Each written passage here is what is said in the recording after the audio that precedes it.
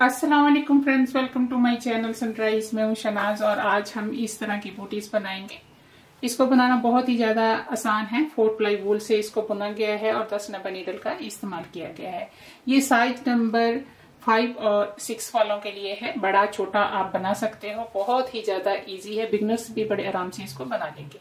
Channel को subscribe कर लीजिए और बेल के बटन को दबा दीजिए ताकि आने वाली वीडियो की नोटिफिकेशन जो है वो आपको मिल सके। चलिए जल्दी से हम इसको बना लेते हैं। इसके लिए दो कलर की वूल और 10 number needle three M M crochet हम लेंगे। आइए अब हम इसमें फंदे डाल। वूल से इस तरह से हमें एक बड़ा हिस्सा जो है एक साइड पे निकाल लेना है और फिर दो उंगलियों की मदद से इस तरह से एक लूप बनाएँगे और इसे नीडल में उतार लेंगे, ऐसे। और ये जो हिस्सा है, इसे टाइट किसी चीज़ में लपेट लेते हैं। उंगलियों की मदद से वोल को ऐसे मोड़ते जाएँ और फंदे बनाते जाएँ। 52 फंदे हम बनाएँगे। बचे हुए धागे को इस तरह से इकट्ठा करके पोटली बना लीजिएगा। इसके साथ हम स्टिचिंग करेंगे। अभी हम इसकी बुनाई कर लेते हैं। बुनाई हम कुछ इस तरह से करेंगे। फ़र्स्ट फंदे को हमें बिना बुने उतारना है। अगले फंदे से इस तरह से उल्टा बुनते हुए फ़र्स्ट रो को पूरा करेंगे।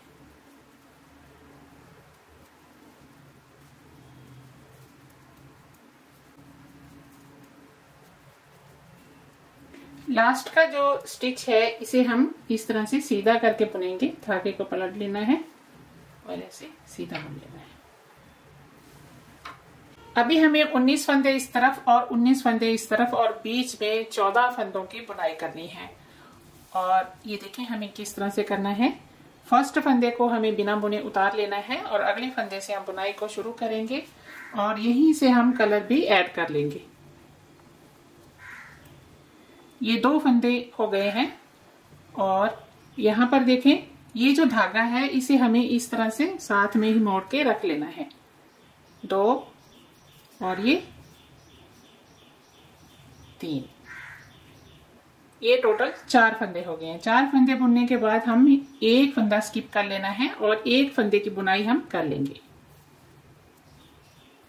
फिर एक फंदा जो है स्किप करेंगे। और एक फंदे की बुनाई हम कर लेंगे।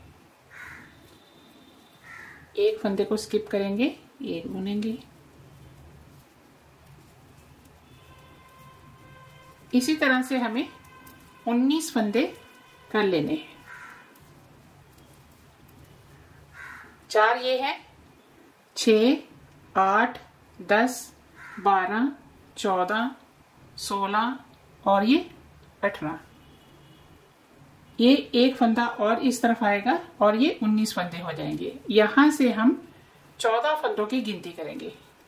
एक, दो, तीन, चार, पाँच, छ, सात, आठ, नौ, दस, ग्यारह, बारह, तेरह, चौदह। आगे फिर से हमें सेम ही दोहराना है। एक फंदे को स्किप करेंगे और एक को बुनेंगे। एक को स्किप करेंगे, एक को बुनेंगे। एक को स्किप करेंगे, एक को बुनेंगे। ये वाले भी हमारे पास टोटल 19 फंदे हैं। आप ये कम या ज़्यादा भी कर सकते हैं, अपनी मर्ज़ी से बीच के फंदे कम दिखा सकते हैं, या फिर बीच के फंदे जो है वो ज़्यादा दिखा सकते हैं।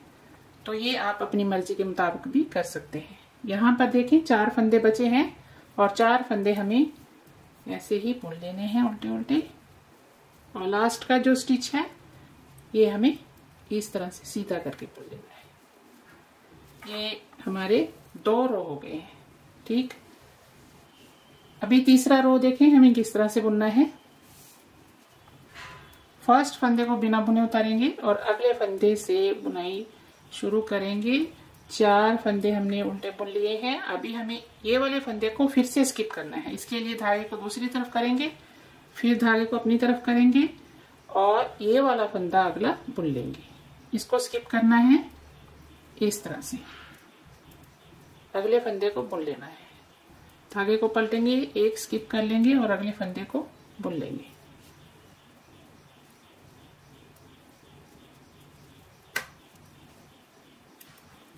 ऐसे हमें सारे फंदे बुन लेने हैं।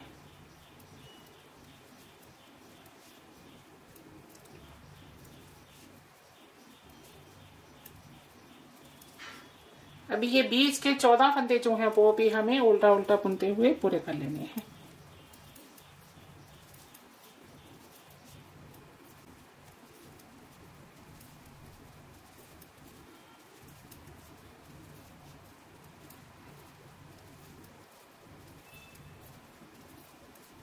अभी यहाँ पर फिर से वही दोहराएँगे धागे को पीछे करेंगे, ये फत्ते को स्किप कर लेंगे, अगले को बुन लेंगे। सेम वैसे ही जैसे हमने पीछे किया है।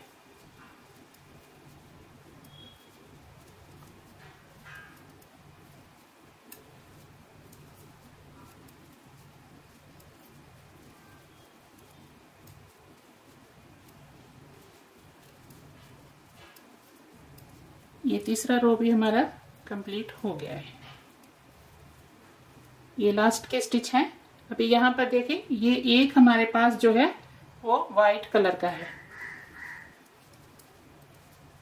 दो, तीन, और ये लास्ट का है। इसे हम इस तरह से सीधा करके बुन लेंगे।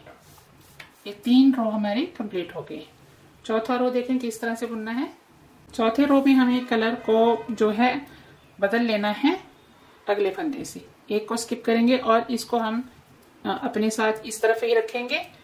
और सारे फंदे जो है वो हम उल्टा उल्टा बुनते हुए एक ही कलर के साथ बुन लेने हैं जो स्किप किए हुए हैं, ये वाले, ये भी हम बुनेंगे।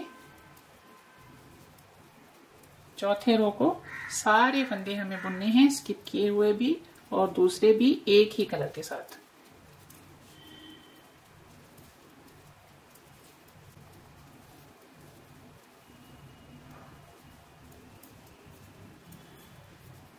अभी जो लास्ट का स्टिच है, वो हम उल्टा ही बुनेंगे, ऐसे।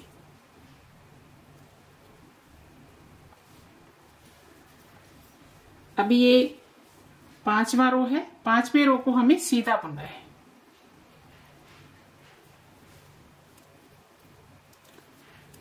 ऐसे सीधा सीधा बुनते हुए ये पांचवा रो जो है वो हमारा कंप्लीट हो जाएगा। लेकिन ये जो डिज़ाइन है, ये चार रो का ही है। ये आपको याद रखना है। अभी हमने क्योंकि सीधा सीधा बुना है तो ये वाले जो स्टिच है, इसको भी हमें सीधा ही बुनना है, क्योंकि अगला रो हमारा उल्टा होगा। ठीक है?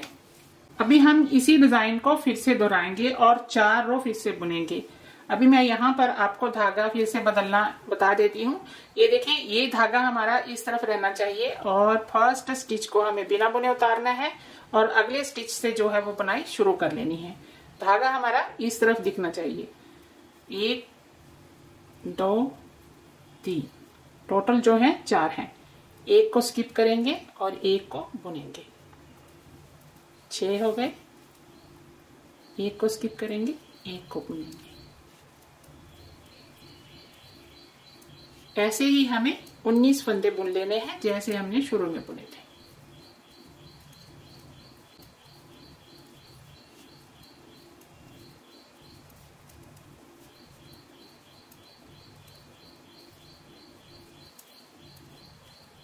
ये देखें, ये हमारे 19 फंदे यहाँ तक जो है वो कंप्लीट हो गए हैं।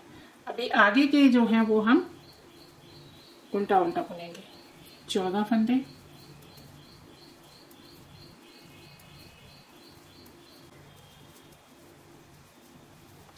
ये बीच के चौदह फंदे हैं, एक, दो, तीन, चार, पाँच छ सात। अभी यहाँ से फिर से हमें एक फंदे को स्किप करना है और एक को बुनना है। सेम वैसे ही जैसे हमने शुरुआत में किया था।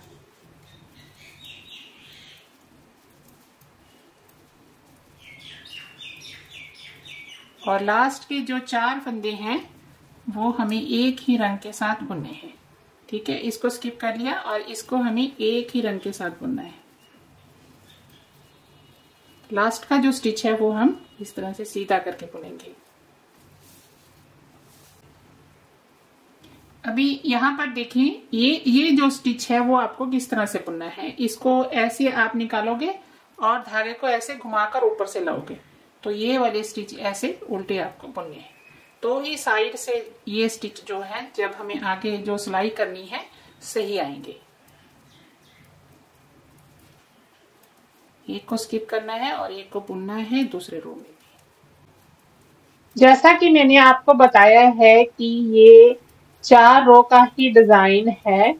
दो में हम दो कलर का इस्तेमाल करते हैं और दो डिज़ाइन में हम एक ही कलर के साथ उल्टा और सीधा बुनते हैं।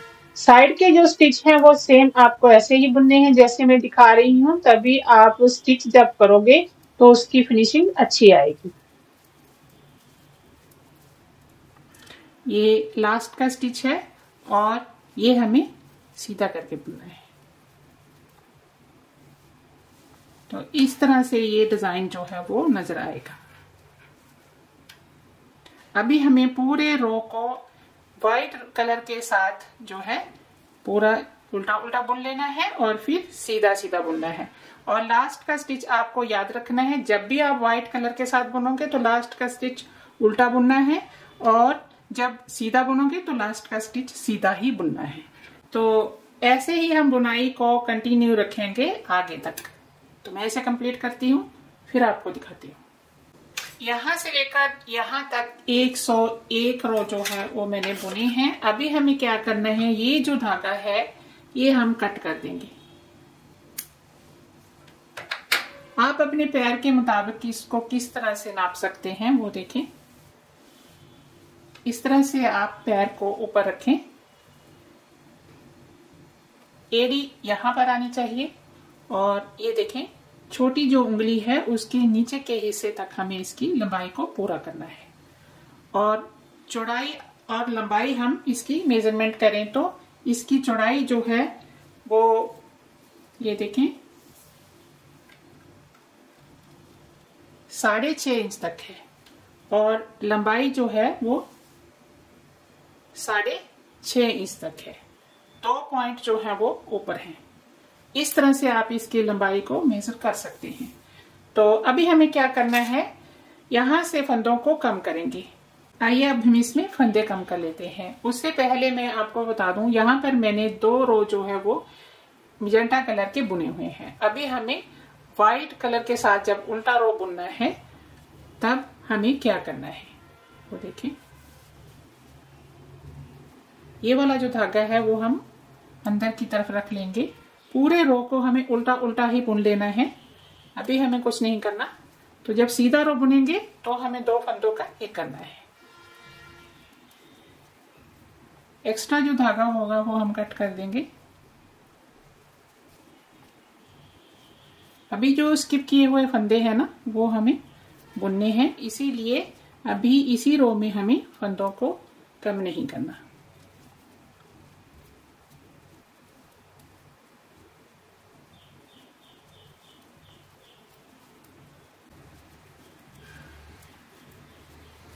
इस रो को बुनने के बाद 102 रो जो है वो हो जाएँगे। लास्ट का स्टिच जैसा मैंने आपको बताया था, जब उल्टा रो व्हाइट कलर के साथ बुनना है तो उसे उल्टा ही बुनना है। ठीक है? अभी हम सीधी तरफ़ से जब बुनाई करते हैं ना तो अभी हमें क्या करना है? दो फंदों का एक करना है। ठीक है? तो उसके लिए हमें बुनाई जो है वो पीछे की तरफ़ से करनी है। ये स्टिच इस तरह से उठाएँगे और पीछे की तरफ़ से ऐसे दो फंदों का एक कर देंगे। इसमें आप फंदों को दो तरीकों से बंद कर सकते हैं और स्टिचिंग भी इसी दो दो तरीकों से हो सकती है। जैसा कि मैं अभी दिखा रही हूँ, दो फंदों का एक करके, एक ऐसा है कि इसको एक ही बार में सारे फंदे बंद कर लीजिए और इसको बाद में दोनों तरफ़ से इकट्ठा करके सिल लीजिए जैसा कि मैंने पीछे कई वीडियो में इस तरह की स्टिचिंग को दिखाया हुआ है, अगर आपको ऐसे मुश्किल लगे तो फिर आप वो वाली वीडियो देख कर ये स्टिचिंग कर सकते हैं। सारे फंदे एक ही बार में बंद करें और आगे के हिस्से को सिल लें। इसमें हम सारे स्टिच को इकट्ठा करके एक जो है, रिंग बनाएँगे। तो इस तरह आसानी लगे आपको उस तरह सिल सकते हैं। ये देखें जी। इस तरह से हमारे फंदे आधे हो गए हैं। अभी हमें क्या करना है? पूरे रो को उल्टा उल्टा बुन लेना है।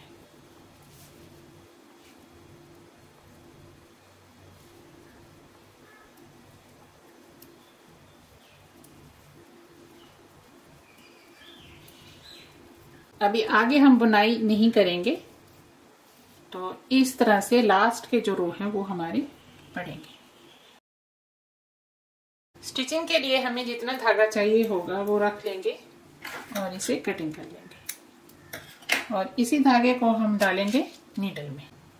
अभी हमें सारे फंदे इस नीडल में उतार लेने हैं।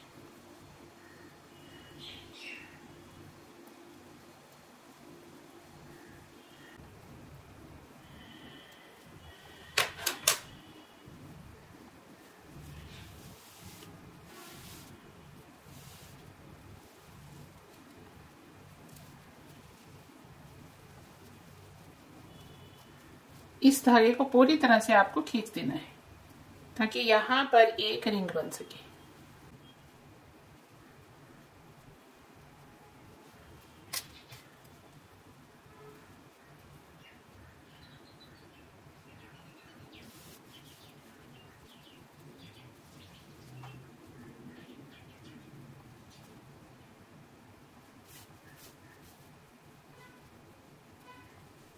ये जो होल है इसको हम उल्टी साइड से बंद कर देंगे अच्छे से।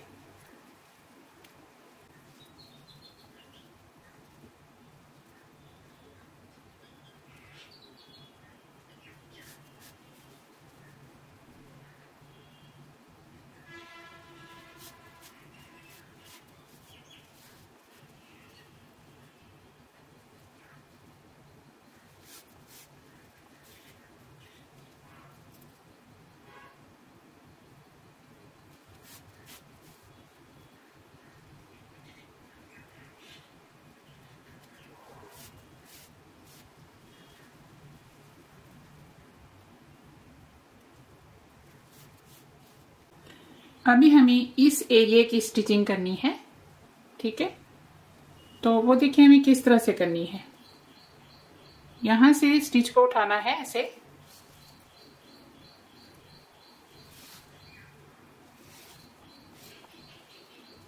और यहाँ से उठाना है।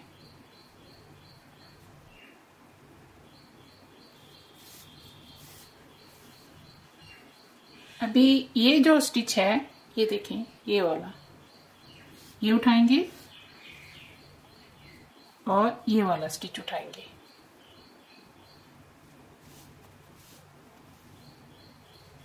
और आगे देखें, ये जो स्टिच है, ये दो। ये उठाने हैं और ये दो स्टिच हैं, ये वाले। यहाँ से। ऐसे उठाने हैं। फिर ये देखें, ये ये स्टिच ठीक। और ये स्टिच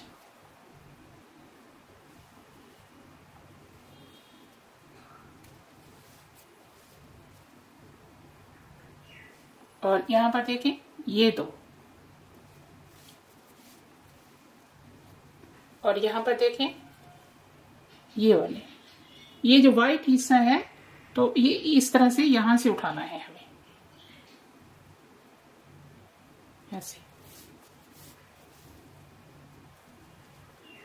और जो ये वाला एरिया है, यहाँ से स्टिच को उठा लेंगे। और यहाँ से उठा लेंगे।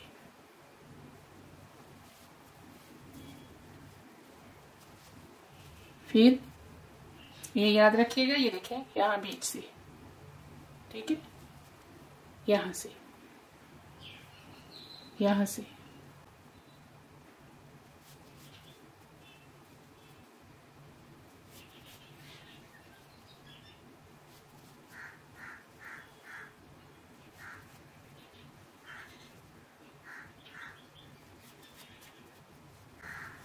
व्हाइट को व्हाइट के साथ आज मजेंटा को मजेंटा की लाइनों के साथ मिलाते जाना है, बस। और सिलते जाना है। और धागे को खींचेंगे ऐसे।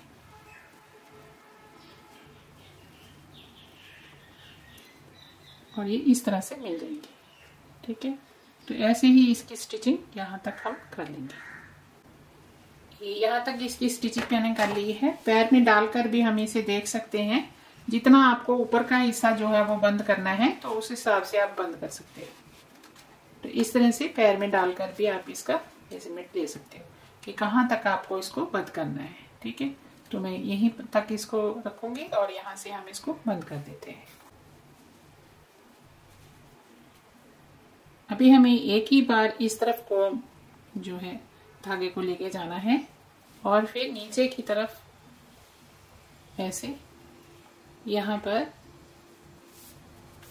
दो बार हम इसको निकालेंगे ऐसे।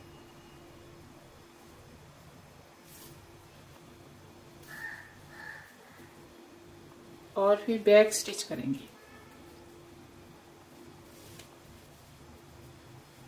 और यहीं पर हमें एक नोट लगा देनी है।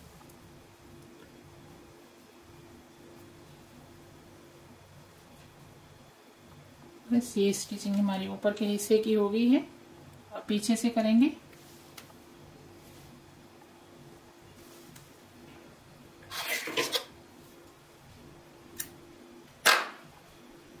ये वाला धागा जो है वो हम खोल लेंगे और ये वाले हिस्से की यहाँ से लेकर यहाँ तक इसको स्टिच कर देंगे। स्टिच के साथ स्टिच को मिलाते जाना है और इसको सिलते जाना है। कोई भी स्टिच आपको मिस नहीं करना है। नहीं तो फिर एक साइड जो है लंबी हो जाएगी और एक छोटी हो जाएगी। दोनों तरफ़ से बराबर स्टिच को सुई में उठाते जाना है। बहुत ही ज़्यादा इजी है इस तरह से स्टिचिंग करना और लाइन के साथ लाइन भी मिल जाती है। अगर आपको ये मुश्किल लगे तो उल्टी साइड से भी आप इसको सिल सकते हो। सारे सॉक्स को उल्टी साइड से भी आप सिल सकते हो। ये पूरी स्टिचिंग हमने कर ली है। ये लास्ट का नीचे का हिस्सा रह गया है। तो पूरा हम एक ही तरह से सिलते हुए इसको कंप्लीट कर देंगे। लेकिन नीचे भी हम स्टिच बराबर उठाते हुए इसको पूरा कर देंगे। थोड़ा सा धागे को खींचते जाना है और सिलते जाना है। और ऊपर से ये बिल्कुल अच्छी फिनिशिंग आ जाएगी। उल्टी तरफ़ से सिलते हुए भी आपको स्टिच के साथ स्टिच मिलाते जाना है और सिलते जाना है। तो आप दोनों तरह से इसकी स्टिचिंग कर सकते हो, सीधी साइड से भी और उल्टी साइड से भी। कोई मुश्किल नहीं है, बस सेम स्टिच के साथ स्टिच मिलाते हुए सिलते चले जाना है। अभी ये वाला जो एरिया है, इसके आप, ऊपर आप क्रोशिया करना चाहते हो, कर लो, नहीं तो आप इसको ऐसे भी पहन सकते हो। तो यहाँ से मैं इसके ऊपर क्रोशिया करने के लिए शुरू करूँगी, ये वाले स्टिच के ऊपर से। एक लूप बना लेना है और उसे ही हम इस तरह से स्टिच के बीच में से निकाल लेंगे।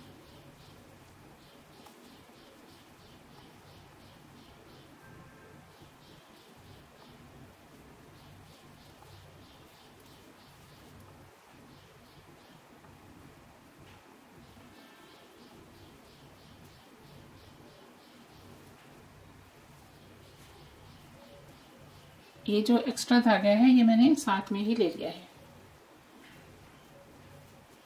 आप चाहें तो इसे करें, चाहें तो स्किप भी कर दें। ऐसे भी पहन सकते हैं। यहाँ पर मैं आपको बता दूँ कि अगर यहाँ पर आप क्रोशिया नहीं भी करोगे तो ऊपर का हिस्सा फिर भी खूबसूरत ही लगेगा। तो इसमें थोड़ी सी फिनिशिंग आ जाती है। अगर आपको करना आता है तो कर लें। बहुत ही आसान है। बस स्टिच के साथ स्टिच जो है वो उठाते जाना है और इसको बनाते जाना है। ये देखें, ये कंप्लीट मैंने कर लिए है। जो बाकी बचा है उसे हम नीचे की तरफ़ धागे को जो है यहाँ पर इकट्ठा सा कर देंगे, यानी कि स्टिच के बीच में से निकाल देंगे ताकि ये धागे खुले नहीं। तो ये अच्छी तरह से इसकी ऊपर की फिनिशिंग जो है वो हो जाती है। तो आइए अब हम इसको पहन कर देखते हैं। पहनने के बाद ये कुछ इस तरह से नज़र आएगी। आई होप मेरा वीडियो आपको पसंद आया होगा। तो वीडियो को लाइक करें, शेयर करें और अगर कुछ पूछना चाहते हैं तो कमेंट करके पूछ सकते हैं। इंशाल्लाह आपसे अगली वीडियो में फिर से मुलाकात होगी। तब तक के लिए अल्लाह हाफिज।